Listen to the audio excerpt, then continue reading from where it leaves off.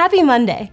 As we continue talking about money over here at Meck, I am becoming more intentional with my own money and savings. This past weekend, Pastor Jim shared a crazy statistic from a recent US study that found that 45% of people polled do not have enough money saved to cover an emergency expense of $1,000. $1,000 is a lot of money, but is not even a realistic amount when we think about things like car troubles, house repairs, and unplanned medical bills.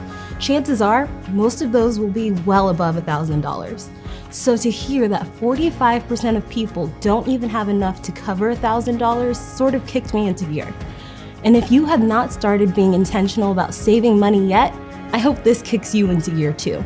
I'm sure we've all heard about savings accounts, stocks, bonds, and at the very least, you may have a basic understanding of how interest will grow your money in an investment account.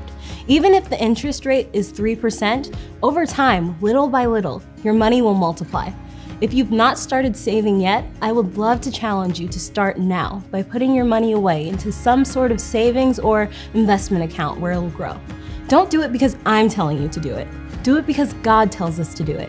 We have been pulling a lot from the wisdom book of the Bible, Proverbs, in this series.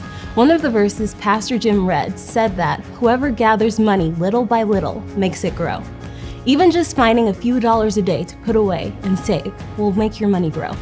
I don't know about you, but I don't want to be a part of the 45% who do not have enough money for an emergency expense of $1,000. Because chances are, I will need a lot more than that, and I want to be ready.